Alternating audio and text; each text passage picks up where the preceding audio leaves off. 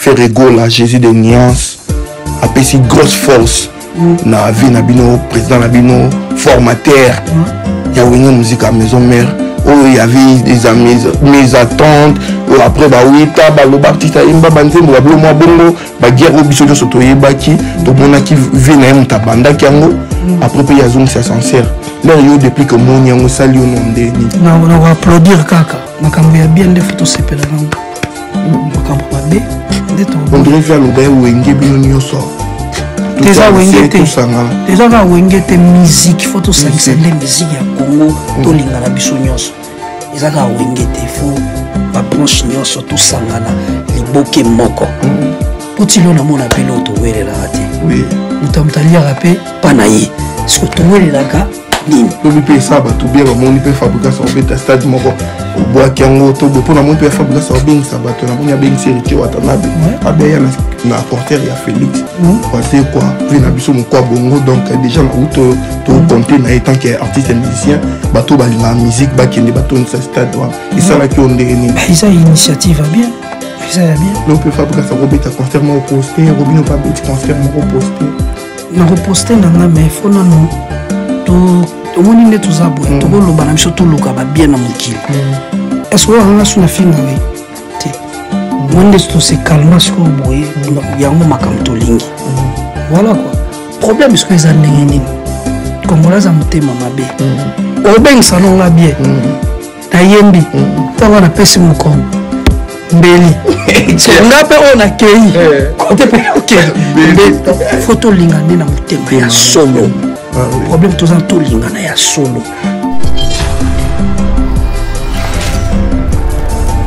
vie na biso bakanga hémorragie oyo omoni pisa lelo tozofanda bamama bazofingama bamama oyo babotela bino baartiste wana oyo basala fierté ya congo me ta nde bamama na bazofinga me uva le congo uva le congo donc basexe ya bamama ezofingama donc sadi matin midi so yango nalobi toza tellement na mentalité bas qu'il faut ba renforcer ba classe mm.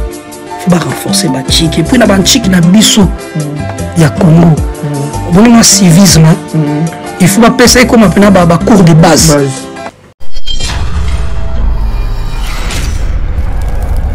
yo wana katangisa makila oya mwana nope aleki na yo oya bangwara mpe baami na yo na intere oyo ya papa ya eza kutu ya yo te eloko nini akalukalukaka mabele ya kongo ya bana kongo nzela lisolo eleki ya masasi liteya ya muze butu moi ntango nyonso zongisa makanisi na yo moke na nsima bravo bravo mais message na yo sino eza fora olobi kaka wenge kaka pamba te po bato mosusu balobi ke ndere clan esangani po bafina artiste moko ah. to mpona koloba clan mpona kofina fali po babunda sel contre ah. tous te eza makambo wana te fo tosangana biso nyonso liboke mm. obi nga esalanga plaisir mm. nazofa deux jours nazwa appel ya kofi olomide na deux heures du matin deux heures du matin mm. avant lobi mm. non avant hier mm. deux heures du matin tozwi ntango partage kande via alobi auto omona nzembo na nga lega mopao mpe abengi nga mpe ayebisa nga makambo ya nzembo wana ozomona plaisir wana ndenge ezosala donc vie azwi pena peine na ye ya kobeko na 2 heures du matin ondire vie na biso kua dakor balinga babimisi na image moko ondire vie azalaka social na bato tu omoni abengaka ye moko voilà ye mpe nabengaka hmm. abengi mpe na ndeni atuna nga mpe me makambo no ya na poto kuna ezoleka na koti mpe badiver moko boye hmm. oyo etali ye mpe te hmm. akomotuna nde nini ya makambo no kuna ezoleka mpe na selo président ozongaka mingi ah naoki mpena bien kua peti na sali na bien mpena nde ozozonga boye banini banini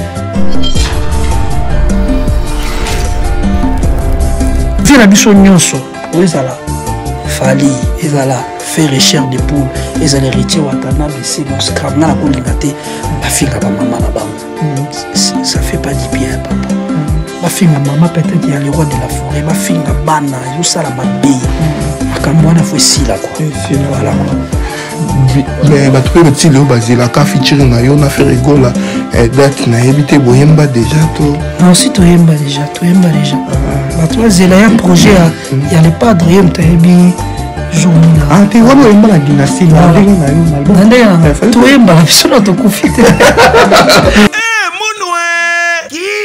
que bandule kozonga te chez Djonga chez Djonga 3 azongeli base na ye na Paris oyo esika bozalaki kolia komela mpe koyoka ntule na niveau ya deux fois te boyeba ke bilenge ezongi na Paris na niveau ya kosakana te chez Djonga 3 awa chaque week-end bilenge ezongi ya ndule à partir ya le 17 février 2023 ouverture officielle ya bandule bokozwa chaque vendredi Suzuki Luzubu 4 x 4 grands chanteurs de mon pays à partir ya 20h jusqu'à l'aube pe samedi bokozwa CNN Alligator na baninga tout awa bokosepela jolie kitoko à partir ya 20h jusqu'à l'heure mpe dimanche sombele suka bisanga bokozwa noko lias emeli alias de mingongo na voaki cloche elongo na wenge pusana tovanda en matine live oyo ekobanda à partir ya 18h ti na minuit kasi tuna ngai nini kaka soki emeli asilisi mbala moko night club to boite efungwami à partir ya minuit ti ba 5h avec DJ Bobo oyo akosepelisa bino na bandule mpe na ambiance ya kitoko. Malolo.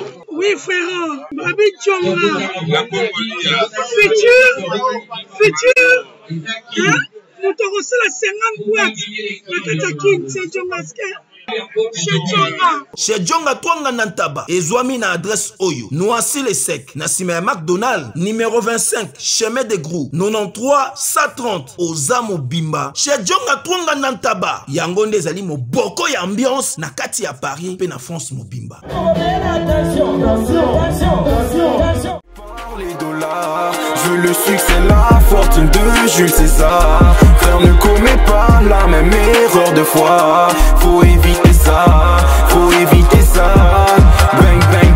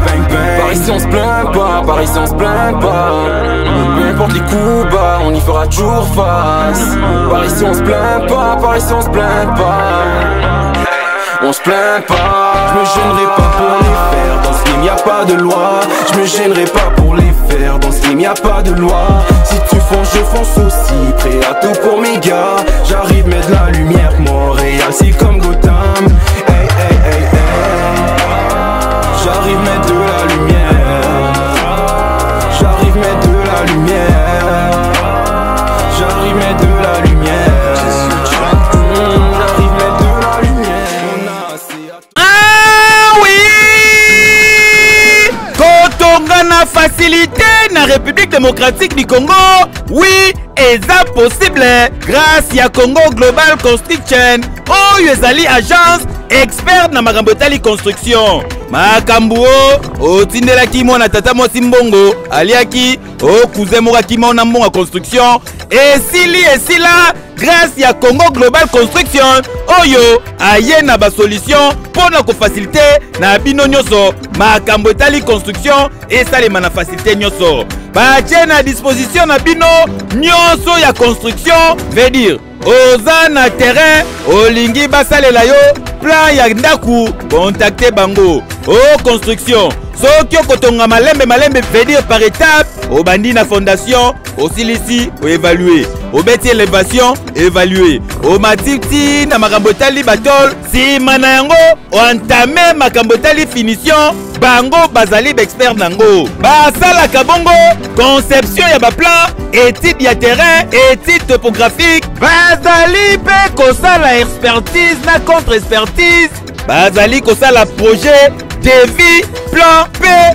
bazali mpe kofinanse ozali na terrain na yo ozoluka bapartenaire mpo bafinanse bazali na bapartenaire s'il vous plaît basalaka plomberie électricité topographie plan d'assainissement ya baville plan d'aménagement plan urbanistique ezali kobetama dada okoki kozala na congo brazzaville oza na mikili ya poto na angola na afrique nyonso contacte congo global construction ezwami na kinshasa na avenue de la nation numero 11 na kinshasa gombe na nsima ya galerie présidentielle oza mobimba ekeyo Ouais, partout. Ouais, salut partout dans le monde entier. À vous tous qui êtes en train de me suivre en ce moment. Quant à moi, le vôtre, humble serviteur, Pichankim ou les soldats de la presse européenne, les soldats de la presse congolaise et votre chaîne Elengia Congo tu vis la meilleure chaîne chaîne du moment chaîne d'actualité chaîne à vitesse donc voilà je suis là en train de travailler je suis là au studio pourquoi au studio je vais essayer de parler de discuter avec nos artistes réel plaisir pour moi aujourd'hui de recevoir grand artiste un grand artiste de notre pays Venanga de Souza et je suis aussi à ma gauche avec Pomba et des pliques grand chanteur. Il fait aussi la fierté de la musique congolaise, pourquoi pas aussi de la musique africaine, parce que la musique n'a pas de limite. On va essayer de discuter, de parler ensemble avec euh, mes invités, mais tout petit peu, parce que non, Lukana tout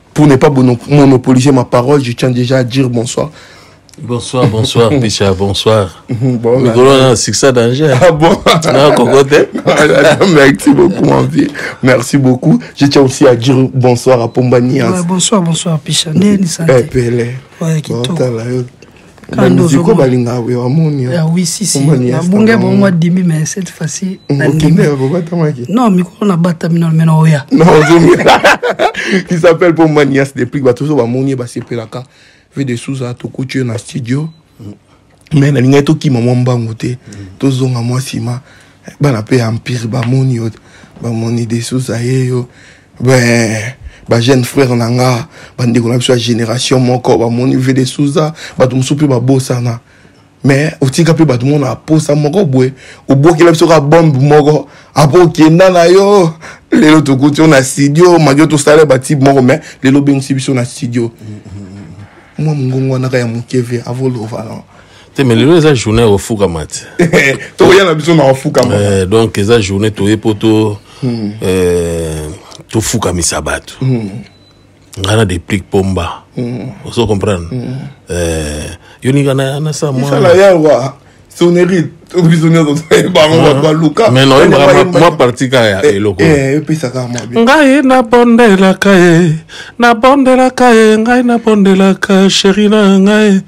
Soki nasali ya mabe nasengaka bolimbisi po pardon ezalaka nango ofele soki mpe ntango ya kofukama ye nafukamaka ye liboso nakitisa mpepo na ngai oyo afukamela nanu mwasi te asote bible aloba ye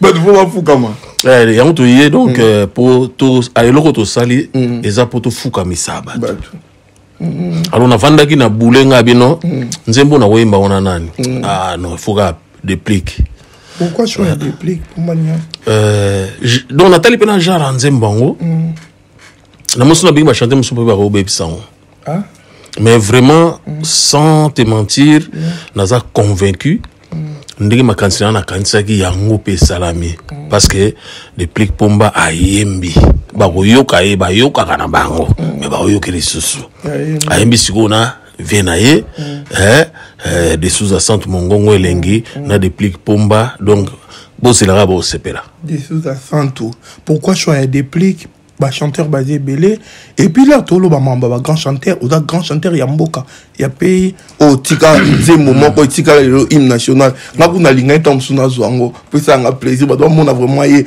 parce que mongongo wana bato bandola ah ye moto ayemba yango ye esala bato ecomplika bato et en plus pourquoi kala ya nzembo wana ebima odesida oya mpo tokimaka y avait de menace ou quoi non nzembo wana ntango ebimaki bo mm -hmm. etombaki kaka na moma moko efale kaka na, na ya nanu mikili mm -hmm omoni na kini bato banda omona neti kaka ke omoyebi kaka kini soki oye na mikili te bazomona neti kaka donc fale na ya lelo mpe na ya mikili ndenge mpe nakana na mikili bon mikili ya nango kaka mboka mais kini ya mboka na biso yango meme nde nasolaki na peti nanga deplique mikili mm. oui mais kin comprendre eh, kin nde makambo nalingi kutu kokomante trop te mpo mingi ngai nalobela nde afukama nga naolinga tozonga na afukamaka mais avec beaucoup de respect mika ozongisa biso kana eloko wana yo wana kotangisa makila oya mwana nopeleki na yo oya babarapa baami na yo na intere oyo ya bapaya eza kutu ya yo te eloko nini akalukalukaka mabele ya kongo ya bana kongo nzela lisolo eleki ya masasi liteya ya muze butu moi ntango nyonso zongisa makanisi na yo moke na nsima bravo bravo wana ezali plaisir na ya wili musheni neli monduka monduka oyo des animé kakierbak mes condoléances tous ensemble mais voix oyo vraiment lelo ekomi mpe mpo bakonte ota mosusu grand chanteur to grand musicien fo obeta stade mais bavoix oyo vraiment nayebi te vie bomérita nini na baevre bosala mpe en plus botika mpire ekende kaka boye vie mpe batraita yo lokola yo moto okabola mpire bokenda na vie bwiki yo confondateur oui nga na cofondateur te nga fondateur fondateur nga fondateur mm. tosangani na ba, ba vie bwingi mm. tosala eloko mais on les a mal passé aujourd'hui on parle de l'album mm. Eh, eloko tosali single tosali bato basepela nango donc ndenge na omona depli ga sola nde na sola nangaokimanga mwa moke nga na okende na akota pomba makambo ekomoyinda mwa moke boboma nkombo ya mpire empire empire normalement esi ekufa nango esi ekufa nango ekufa empire ekufa Empire ekufa sikoyo. Ebino boza vivant. Eh mais bakolo nango eza biso te. kolo nango eza papitex azali vie nanga papitex azali na vie nanga dilu dilu mona eh, kese na bango ah. tomona mpe bawenge mosusu esalami ebetaka pourkui komo empire bolinga boefase yango pepe kale grand artiste musicien me ngai na kosepela masolo ya bampire oyo ntango tokosala pene mission mo bato ovandi mpo lelo pene ezali mokolo ya album oyo eh, single tosala na deplic pomba mm. boulot tosali eza blague te parce que mm. nga tu sais que moi suis un professionnel mm. naza na expérience ebele mm. alors nasali nano choix moko ya bien mm. bachanteur baza ebele mm. mais esprit na nga mm. esepelaki nayemba na ah, euh, deplic mpo natala ye trop naotala ye trop bandamaki naotala ye mm. amonaki no a ah, te deplic aokoka a convaincre nga mm. vraiment bato sikoyo bazela bayoka basepela kaka mm. eh, basepela kaka nga naokenda nga na ngambo ya pomba nuance mm. mais mpo na kochite album cortel ne azalaki arrangeur nango album copter ezalaki tosalaki barrangement d'ensemble il y avait pas un arrangeur tosalaki barrangement d'ensemble bapesi depend elaki orchestre toyaki ebele toyaki ebele pepe kale moko nga nalaki wana topesa baide balofombo ba tout le monde on était là ensemble on a travaillé ensemble l'album esimba Vrai ou faux Bia abanda koyembela Pepe Kale Oui, bon, Bia azalaki azalaki chanteur, azoyemba na Empire, bon euh, ayembaka mpe à peu près Kale. Bon, azalaki na biso, asala mpe époque na ye, c'est bon. Bavoix mosusu toyokani eza Pepe Kale te eza Bia. Euh, oui, Bia asala ba vocal na ye, asala ba vocal na ye, asala ba chœur mpe na kati, donc c'était ça. Ouais. merci beaucoup là c'était un peu de choses là donc euh, voilà pour ma nuance l'heure où ozwaki invitation ke babengi yo vraiment pas de souza oyemba esalaki ono premièrement nini oyo esalaki nga plaisir ya makasi mhm. oyebi kaka bavie baya bavie bachapote misiki na biso ya congo bayer na biso kutu tozonguluma kutu nano mhm. rêve kutu te mhm. ke tokokoma mpe banduliste voilà sikoyo bango baloka ba platini eh, ya ba musique ya ba Congo na biso wana mm. biso tolaka aloka ba joueur moto ye na biso ka lelo lelo mm. donc tozomona ke platini mm. abengisi lelo eyeba makambo te bakonte fo beta stade fozwa batrophée badisque non pose parce que distraction ekoti trop voilà mais bavie bando osala miziki ya koyeba biso lelo tobeta so miziki ya koyeba te ya koloba nde ebele tobeta miziki ya koyeba te bango babetami na ndule ya koyeba donc po, po ozala pembeni na bango fo yeba me ya lelo eza nango kaka okolamuka no na ntongo ofingi x batye opk mm. lelo komi ya miziki ya internet me bato basali miziki ya solo mm. ya solo eza bango alors sikoyo soki na moto asala miziki ya solo mm. abengisi moto ko adeplike mm. donc fo ezala plaisir moko énorme mm. voilà parce que toa bachanteur ebele mm. me basali show ya deplike donc nana plaisir moko akosakana te mm. voilà lere oye na studio ambiance total mm. ndenge eleki epuis lere bapesi yo parti na yo mm. ezalaki teste mo déjà bakomi to mosusu yo mpo obakisi nga nakuta déjà nyonso mm. nakuti ya nyonso na reproduit déjà oyo vi asalaki voilà nameki otya mwa mayele mpe toyekola epuis na oyo vi apesi voilà yango moto esali mixage moko ya ya bien quoi neti bamoure ya la bonne musique bazela nini no bazela mélodie Eh, bazela melodie parce que musique eza melodie melodie etraversaka nzoto eh, bazela mpena melodie ekotraverse nzotoekotraverse nzolinie nini boye na ngola ya bamona oyembi a ah, ayembi na vie wana bamona miziki mwana eh, mélange ya voix mm. ya déplique mm. na kimokolo mm. comprendre donc mm. mélange ya voix déplique mm. na ya kimokolo sikoyo mm. voilà bango bakoyoka bakocomprendre voilà mpona bato bameka mosa polémique okaka ah pokuna vrai bozi boziana basali featuring na fali pupua yango mpe deplique aolisi basala na vie na ye bato baloba bongo mpo bayeba te ke babengisi non non non rien loin de là kutu loin de là mais nga bamikolo ebele deya baapreciaka nga wala eza teke mpo soki eh, papa na biso bozi ayembi na na vie na biso ke biso mpe tosali nonono biso toza na makambo oyo tosala bavie mpe don nyonso wana mhm. eosala ambiance ya musique ya congo mhm. eh, oyo tour tosala eza mpona honneur ya bafanatike eya mpona bapolémique te voilà ondire yango batraitaka bajeune to bayembi na bavie ekoma r ya clip akimi na ye te en tout cas nga da genre na nga mm. nazalaka deya loyal nasi via otemoine ntango abenge nga nga nde moto nakendaki vers ye voilà okay. parce que biso tozala na respect ya bamikolo mm. nga nabetela yango toujours sete na banoko na biso nyonso mm. il faut mwa respect ya bamikolo mm. il faut ezala kua mm. voilà merci beaucoup mpo maniasi na ozongela yo lisusu tokende na yo quelque chose apport na yo lero obengi deplique ndeka deplique alobi na part na yo sikoyo mm. non mais bon ngai nde nalobaki kaka te mm. natalaki na bajeune ba namoni mm. keno efale nayemba na deplique mm. Eh, mpo nasepelaka nayembeli na ye nasepelaka se eloko ya liboso deplique nazali koloba yango no c'est un courageux ntango abandi bamba aventure na ye neti kaka blague mm. nga nalanda tu nazolanda ndenge abandi bateatre na ye neti je bato mosusu bazondima te me namoni mpena ke pupupupu ah, mm. namoni mpena ke non ah, deplique amatiko mm. alors d'abord courage na ye mm. oyo akomi ti lelo mpe amemi mouvement na poto eza blague te epuis ayebi bulo yango mpo nga nakoyema na faux chanteur te ah soki oza no faux chanteur koya pembeni na nga te alors son abenge d'abord c'est un, vraiment c'est un grand chanteur c'est mm. avenir ezali mm. aza wana avenir ebele mm. donc euh, déplique epa na nga c'est un fils amona oui. ozo comprendre mm. donc soki nayembi na mwana na nga déplique mm.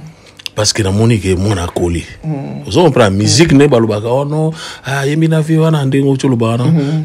musique ya na frontière te ah, oui. musique eza na age te mm. ozo comprendre mm. eh? parce que lelo oyo bakoloba soki ndenge nini soki ndenge nini ya de vie ve bomenga kuta babeta misiki ti lelo ozo comprendre mm. bongo sikoyo biso moto oza na makasi boye eh? donc euh, musique ya na frontière te fale nayemba na deplique eza esprit lobi mpe nakoyemba na héritier lobi kuna mpe nakoyemba na fali lobi kuna mpe nakoyemba na bango nyonso eza te ke oyo mpo nde nayoki mwa question na mpoka fali basala eloko mona na nini na nani non d'abord un eh, fali c'est mon petit à moi okay. fali soki aye afo akitisa motu ayebi nga nde toyebani na ye kala donc eh, bongo pourquoi pas na partage na bato to nga nasepelaki nayembi na deplique mbala oyo mbala nayembaki mpe na blaise bula mbake tosalaki clip te mais nayembaki na blaise bula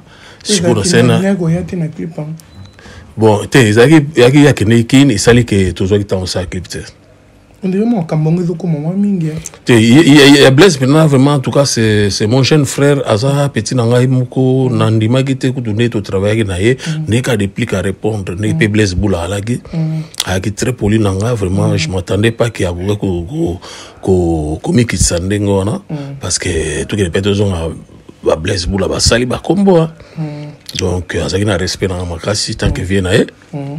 euh, lelo nasali na déplique mm.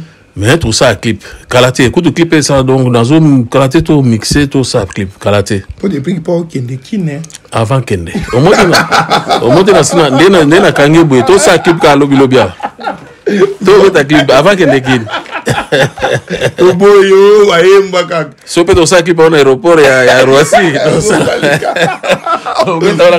na roissy eh. mais non tozosala clip bientôt mpo nzembo mm. etikali kaka bas ebeta na mbonda après tomixe tozosala clip je crois dans deux trois semaines tozosala biso clip mm. mais bato mabanga mpe baotala eh, bato mabanga mpe bato bazobengabenga mpo mm. bayoki déjà sango nazwi bacoup de fila ebele bato bazoyoka bato bazobenga mpo nini mm. ta mosusu mpo nayemi na déplique mm. siko mpe génération ya déplique mm. ekoti makambo yango ah tu vois eloko toluka yango na biso ntango tokokola ere moko fosangana na bapetit mpo nkombo mpe ezosala yo mpe ezozonga na nsima wana mm. esalaka bien donc euh, nayembi na déplique vraiment mosala tosali eza super super naza convaincu so nalobi naza convaincu naza convaincu mm.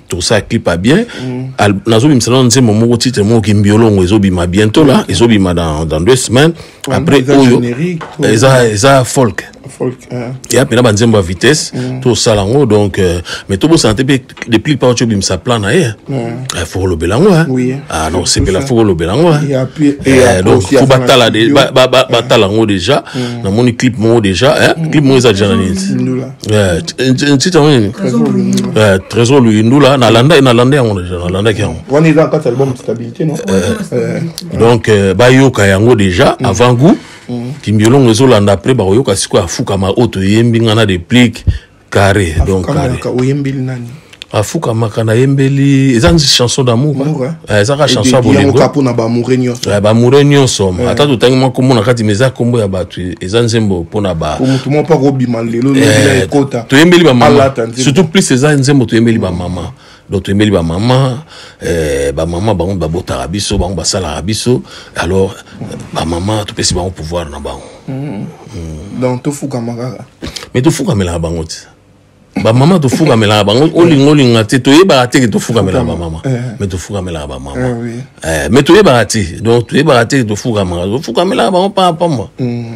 yango toyembi yango na nzembo ah il faut kokonte kozwa nzembo tozwa yango mpo na camp en tout cas ekowumela te mm. eh, soki tosali clip eh, la semaine oyo kuna mm. ekowumela te tolansa yango mbala moko en tout cas faut compte oyo toya mwa nini mois d'août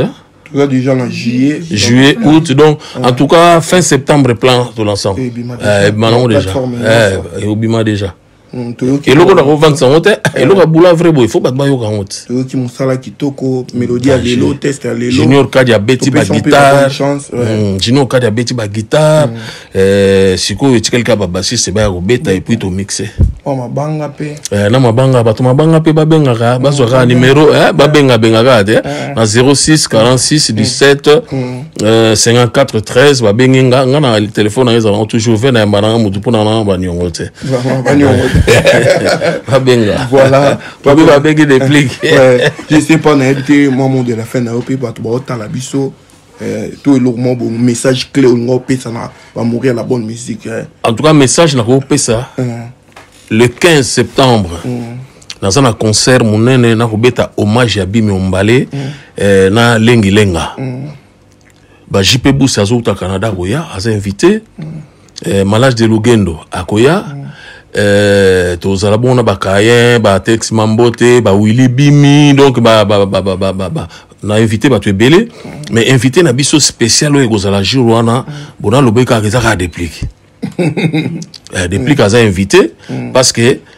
eh, faut kosangisaka génération mm. tokoka bateke bango kuna okula te mm. deplike aza na biso bamasa tu bavote kaka deplike azala bamalage alobi nanga ata na biso yabi nanga oh no oh, betio na ye ma danger mm. tala kaka akozala na biso mm.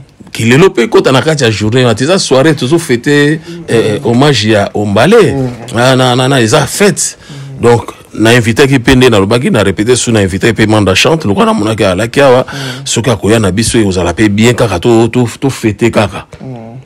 bamosusu nalandi bacommentaire oloba mingi omanda azolela bamisie bakimi na poto nayebi te soki non wana uteya eh. nango boyebandi lelo eh. eh, bakimaka na bango kokimela nango sumamba olela te ya nango te ntango ozoya na bango yebaki bakokima na bango mm. mais baza mpe kaka bamisie na yo mpo un jour ozala mpe kaka na besoin na bango mm. bakoakompagne yo kaka donc euh, c'est pas grave bango ya bamisie okima na poto nde bato mosusu babenga yango salaire eza mpena salaire na bango bon bakimi kaka ti baye na bango bon baye tozili toyambi bango kaka baya kaka makasi ga biso mpe totikalaki na tovandaki na bapoto yango mm. makasi na ngai yango lokomba de sous ezali mais soki ozana makasi te abu pia donc euh, poto ya nango poto ya nango bien c'est bon bakima na bango eza nango grave te ebai nango kala bandi kala là je sali kumumanda chante donc euh, bambote ebele na yo tomoni déjà des prestations na yo ezokende bien tous ensemble toi de care biso presse donc voilà le 15 mm. na concert ezali na 6 boulevard galini mm. à genevillier na mm. tapis rouge epai ya fredi mputu mm.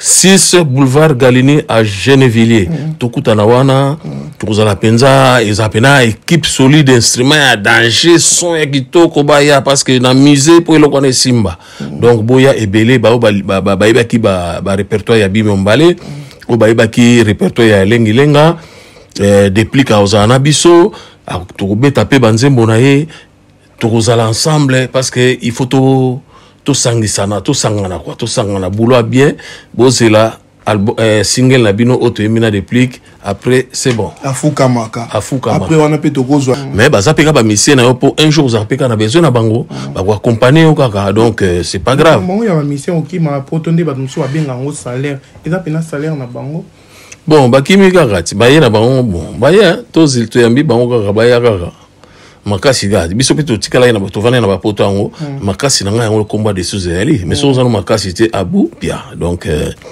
poto ya nango poto ya nango bien hmm. c'est bon hmm. bakima na bango eza nango grave te ebaye nango kala bandi kala là je sali kumumanda chante donc euh, bambote ebele na yo tomoni déjà de prestation na yo ezokende bien tous ensemble toi de caire biso presse donc voilà le 15 mm. na concert ezali na, na 6 mm. boulevard galini mm. à genevillier na mm. tapis rouge epai ya fredi mputu mm. 6 boulevard galini à genevillier mm. tokutana wana mm. tokozala mpenza eza mpena équipe solide instrument ya danger son ya kitoko baya parce que na musée mpo eloko wana esimba mm. donc boya ebele baoyo bayebaki barepertoire ya bimio mbale mm. oyo bayebaki repertoire ya elengilenga eh, deplic akozala na biso tokobeta mpe banzembo na ye tokozala ensemble parce que il faut to tosangisana tosangana kua tosangana boulot ya bien bozela Albo, eh, single na bino oyo toyembi na deplique après c'est bon afukamaka afukamaka après wana mpe tokozwa un jour susu soirée moko mpona match oh, mais, kale mais pourquoi pas eza déjà na ligne eloko yango tolobi eza déjà na ligne mm. donc euh, vers ba décembre nde tokosala hommage ya pepe kale toyeba nde tokosala masolo yango tokanisa ata artiste akenda totangi nkombo na ye mingi Ouais, ouais, ouais. Mm. Ata na loyembo nde ka baloba artiste ah, bon. jamais. Ah. En tout cas, yo bo tinda bato eh. eh? Ah, lelo ezali koma kofukama bo likambo te monanoro ya masuara itabeko nana biso se na kopo ala sante Tobengi wenzi sekli mobembo ya bakuba bana mpire ozela nga nakoya kolito ebuya ye Ah, merci beaucoup, merci beaucoup. Donc voilà, c'était des Souza. Donc voilà, merci beaucoup, réel plaisir pour moi de te Merci, recevoir euh, ouais, dans le studio. Batou Bozela Nzembo Onayo qui sont mélodie, arrangement, non coûte silité, prémixage, coûte non noté. Mais déjà, tu veux que mon sala, D'ailleurs. n'a dit que donc génération nyonso eko se retrouver na nzembo oyo afukamaka donc c'est pour bientôt là déjà donc ba mécène bato balinga mabanga bobenga et puis pour en finir euh, la relève est assurée comme on dit toujours mm. lelo bagene bazoya bapomba deplique mpe bazoya baosala bamakambo ya minene memi poto bamusicien atiki bango mpe mosusu baluka bavi na bango badiske ezobima donc euh, yo mpo oza grand chanteur ya mboka na biso artiste nini ozomona ba grand chanteur valable bako remplace mpe génération parce que tobungisi mpe ya biso babaoba ya minene ya mboka lelo lere ozotala nayebi te te me bato bakoremplace deplic mta oremplace apart deplic esi na moto eh.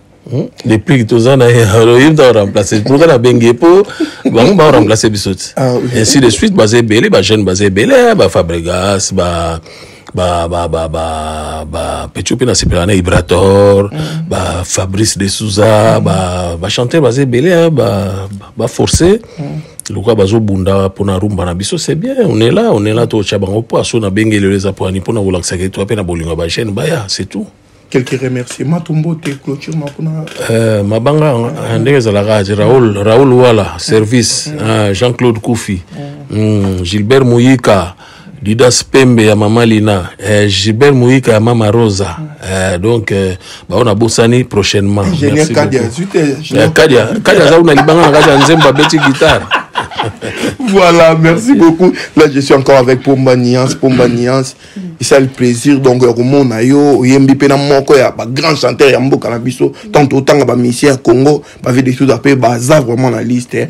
et puis je sais pas encore euh, à quand parce que yo mpo oza na studio tolobela mwa moke toprofite na occasion okomi na niveau nini sorti eza pour quand esi vide nango donc totikaka na science moko asuka mpo bamixage mpe banda après basala mastering tournage mpe ya baclip voilà quoi oclipe nyonso oyo to na kin bango awa tosala trois mm. après mosusu tokobakisa mpe na kin na kin voilà eh, tokomobangi eloko kaka lelo soki nayo motu bauta kokonte eloko kala mingi ta okosala ekombe sete moi ebisa eh, bango babanda kokonte nao babandaki te sikoyo nde babanda mm. ntango mpe na kokóma kin mm. fo babanda mpe soki okonte jour na ozonga boye bango bana devoir na nzambe bana devoir na nga te bato tu banda okomante wana kolobaloba bana devoir na nga te bana devoir na nzambe parce que nga moko na bavi na bango na atangelaka bango mikolo aa te donc bino bofandi yana bokomaka bino bamalanda ngombe na nga donc botikali yo wana bosurveillanga bagarde corps na nga te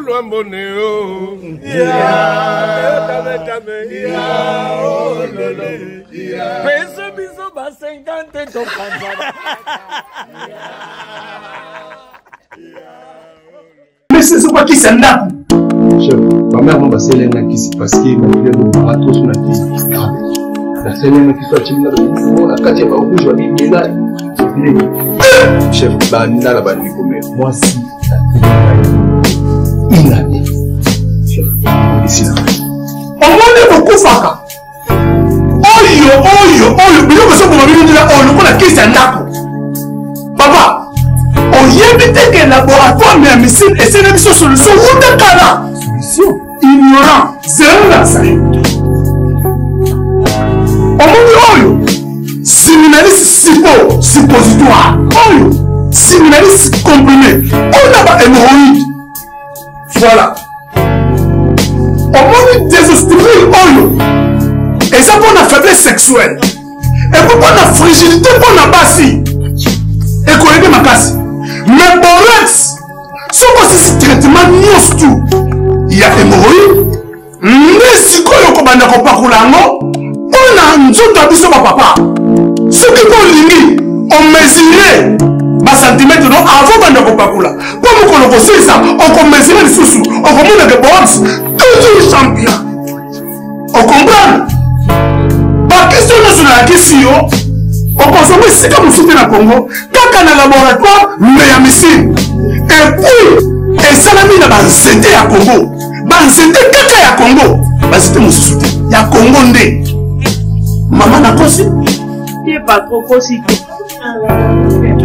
eh, wana nde akulunga bores oyo mobali na nga asalela bores oyo soko na bores oyo te me mobali na nga nzoto na ezonga ya bokibe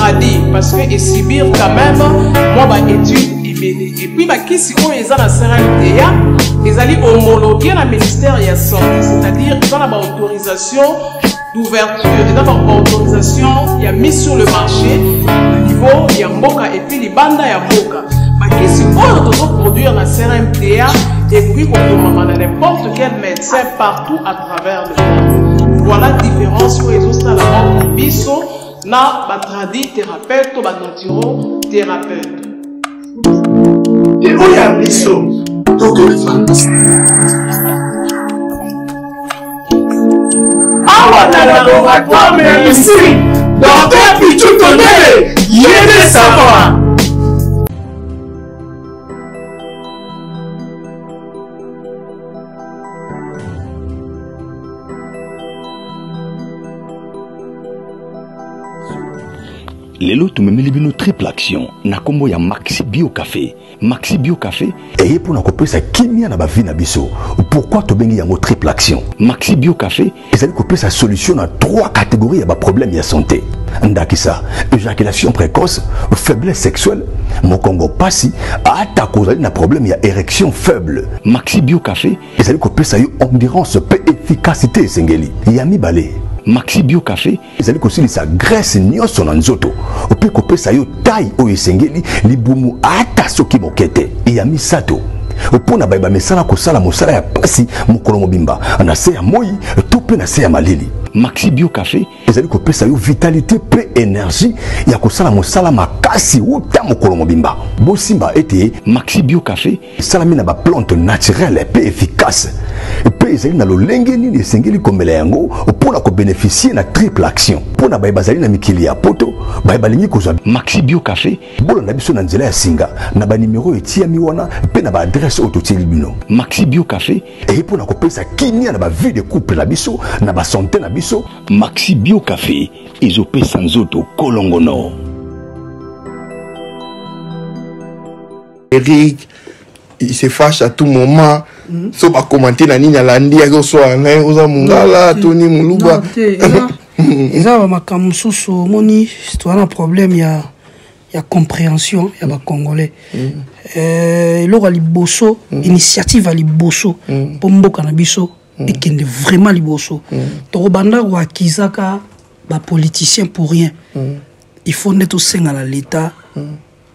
mwa classe ekosala bien fo barenforce mpe na bantshiki na biso ya congo mpo congolais bongo ezonga nao na nzela mm. parce que so yo moko piche ozo comprendre badroit na yo te mm. ozo comprendre parce que nango mpe so notamment mpo mona nde to réfléchir to réfléchir bien te mm.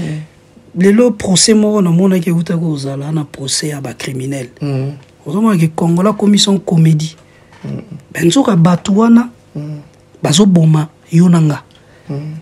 mais ozomonaki na kati ya procès motu mpe nazoba o oh, kabakaba ndeni oza pretre mm. libere nga est ce que ozomona mentalité ya motu mm. mentalité ya congolais azoyebisa mpena azoyebisa criminel ke faut libere nga bazo comprendre te gravité mm. ya makambo jo wana auti auti kosala mm. ozo comprendre mm. donc yango wana ozomona congolais tellement ayebi cible na ye te mm. il faut ya kokommente buzoba mpo na deplique na place oyo akommente buzoba mpo nanga bokende nanu oke ata na page ya gouvernement na biso opesi idée kuna ngai namoni mboka na biso mpe bonga fo boye toza trop focalise na babétise ke makambo eza concret ya kobongisa mboka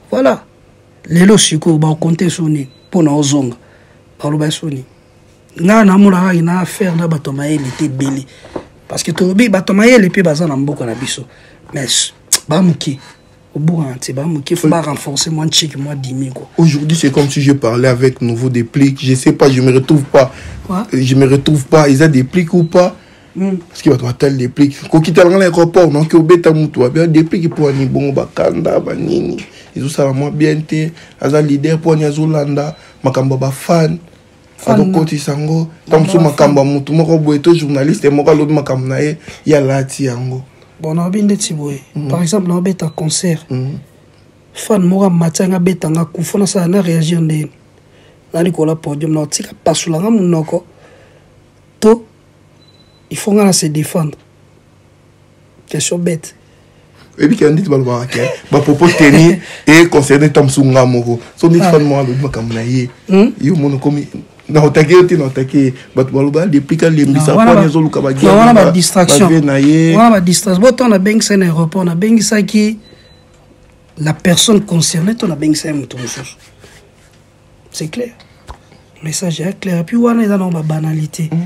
mpe eza niveau ya kiyuma mm. voilà yango nazoloba tosala mm. makambo ya concret oyo ekoki kofaire avancer musique na biso eza teke so ofingeleli moto moto moko x nde musique ya congo ya avance non faut to faire avancer musique ya congo na bapropos moko oyo eza oyo eza bien kua ondire mpe bino mo bamisie bolingaka bongo yango bato na bino nga nalobaki yango déjà nalobaki yango ezosenga bavie na biso bakanga hémorragie oyo omoni pisa lelo tozofanda bamama bazofingama bamama oyo babotela bino baartiste wana oyo baosala fierté ya congo mpe ta nde bamama na bazofingama mais où va le congo Mhm. où va le congo donc basexe ya bamama mhm. ezofingama donc ça dit matin midi soir yango na alobi toza tellement mhm. na mentalité bas ke faut ba renforcer ba classe faut ba renforcer ba chiki puis na ba chiki na biso ya congo omoni mwa civisme il faut bapesa ekoma mpena bacours de base, base. ya ba congolais civisme mm. fe koma balongola mpena mathématique mpo nayebi ya mat na, mm. na français bacours de base na biso mm. baye bameka no bakomisana ata trois bakotisi mwa civisme mm. kesi ozwi mpena te na civisme mm. voilà parce que yo yo yebi nde tozala na kinshasa omo abinaki moto alamuki na ntongo mm-hmm. ayebi binaki toilette eza kuna mm-hmm. mamutaki esuba na mire sokopa etalaka nde tozalaka okosuba motu mpena te mpe ozoexplike ke mhm. ye ndenge ozosala tobabi mpena biso yonga nde moto akobongisa kongo voilà voilà pour moi nuance mais aujourd'hui tomoni ferregola jésus de nuance apesi grosse force mm. na vie na bino président na bino formateur mm.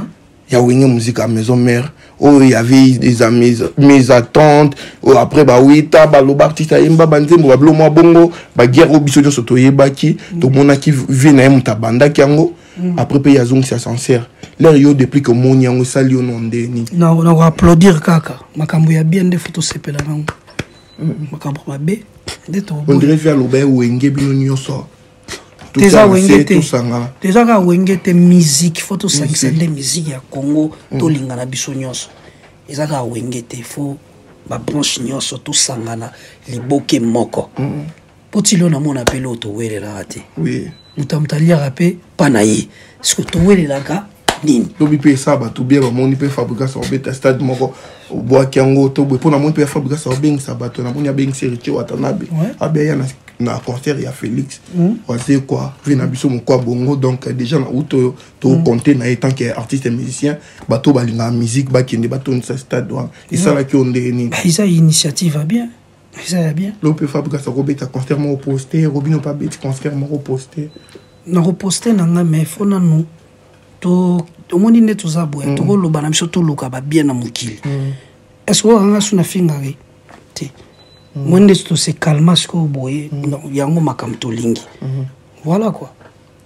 Voilà, soit alobeli nga bien, nga pe na lobelele bien, mokili eza bongo te, bongo te.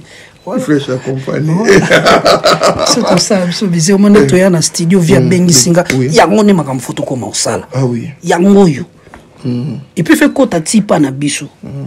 Problème est-ce que eza ndenge nini? Congolais za mutema mabe. Obengisa no nga bien.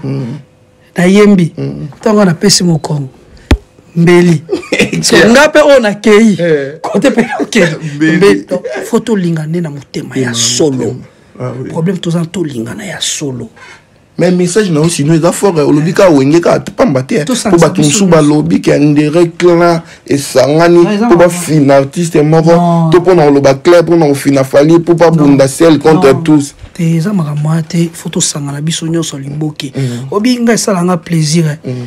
naoto fan deux jours nazwi appel ya kofi olomide na deux heures du matin deux heures du matin avant lobi mm. non avant hier deux heures du matin tozwi ntango partage mm. ka nde via alobi auti omona nzembo na nga mm. lega mopao mpe abengi nga mpo mm. ayebisa nga makambo ya nzembo wana ozomona plaisir wana ndenge ezosala donc via azwi mpena peine na ye ya kobengo na 2 heures du matin mais ndiri oyo vie na biso kode kor balinga babimisi na image moko mais ondire via azaka social ya bato tu omoni abengaka ye moko voilà mm. ye mpe nabengaka mm. abengi mpe na ndeni atuna nga mpe me makambo no ya na poto kuna ezoleka na akoti mm. mpe badiver moko boye mm. oyo etali ye mpe te mm. akomotuna nde nini ya makambo no kuna ezoleka mpe nase no président ozonga kala mingi te ah, naoki mpe na bien kua peti na sali nga bien mpe na nde ozozonga boye banini banini après tosoli makambo apesi mpe baconseil etout etout mm. talaka lekambo abengi nga bi te yo kobunda te bule sika peti nango kobunda te jojoka wanduliste mm. esi na explike mpe vie omoni talatalatala après toleki na makambo mosusu makambo tolingi na miziki ya kongo yango wana totika makambo oyo mm. ya kofinga bamama surtout nga mpenza na place mpo mm. bavie na biso nyonso oyo ezala fali ezala ferre cher de poule ezala héritier watanabe seloscram ngai nakolinga te bafinga bamama na bango mm. ça fait pas du bien papa mm. bafinga mama peut-être ya le roi de la forêt bafinga bana ezosala mabe mm. makambo wana fo esila kua voilà kua mais bato mpe ti leo bazelaka featuring na yo na fere egola eh, date nayebi te boyemba déjà to non si toyemba déjà toyemba déjà ah. bato bazela ya projet ya, mm. ya le padre ye moto ayebi journi na ah, te wana oyemba na dynastie na ndenge na yo na album na ndenge na eh, toyemba na biso na tokufi te voilà c'était pour manias je sais pas pour en finir pour manias eza bato bazela eh. eloko toyembi na vie mm. yango nde makambo nafukama eh, bazela mpena mpo ba père tout tokofukamela ba mère jour eloko ekobima eh. donc bongama déjà na mama eh. nde biso tozoloba mm. slogan na biso ke eh. makambo akoloba eza mpo makambo akoloba esili te esili te donc isaac muambo vie balobi na chante seke makambo esili te chaque jour toanda oloba lobi donc bato kombo album réponse déplique mpo makambo akoloba eza te esilaka te balobi batutu bazela ndenge tokofukamela bamare eh. parce que tofukamelaka bango chaque jour tobondelaka bango chaque jour eh. ako batonda caprice eh. bango batonda caprice me fo tofanda mna tofukamela bango voilà kua bato bazela epe oyo ekosala vraiment matoi ya bacongolais bien tosala toujours musique na bolingo mpe na unité nde tokolonga liboso kua merci beaucoup mpo mbani ya chesepa mpo na osilisa parce que bamaison play baotala o balubo star nayebi te mwa quelque dédicace ouais, napesi eh, si bosadi lwa bambote ebele napesi rigo bato très intelligent mm. alubo star mm. andrea bambote ebele mm. olivia bambote ebele donc bato baza vraiment ebele alubo star ami, ami gongombo voilà audrey minator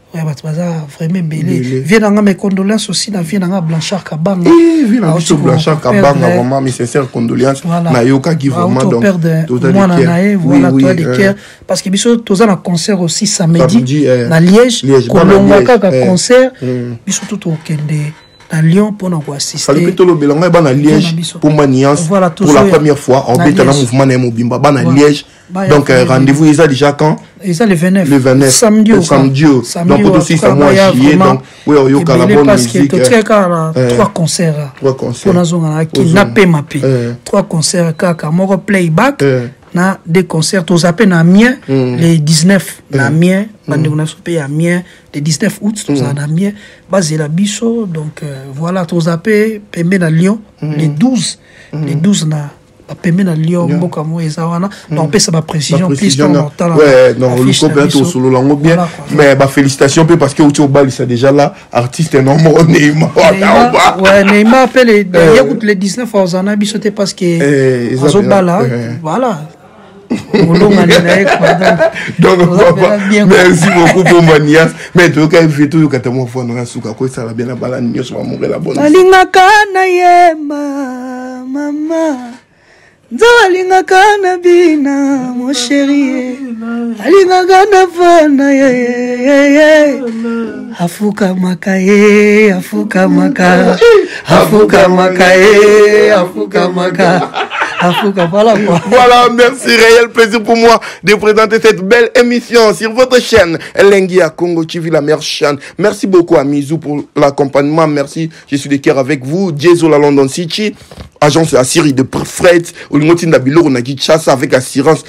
chez Dieu Zola vie na biso mbuta lombi ba mbote ebele jonga okula boss jonga okula bob jonga assistant moto moko bien moto aliaka na bato babiba na ngenge député na biso moko honorable na biso ya funa honorable edi ye papa social molangi biso nyonso candidat na biso ye wana to vote le seul et l'unique le véritable code ya Willy Moucheni pourquoi pas Igenzinga voix dollar rouge merci beaucoup pour tout nazwaki ekomaki